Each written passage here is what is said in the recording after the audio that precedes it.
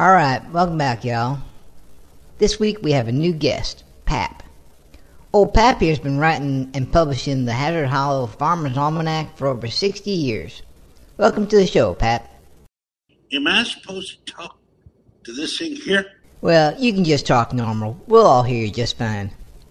Oh, I expect you'll hear me just fine, but sure as shit you won't understand what I'm saying. I don't think your accent's too strong.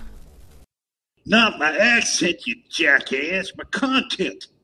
My music's my prose. You're talking about the things you write in the almanac? I'm talking about the fact that you're as thick as my cod and not nearly as pretty.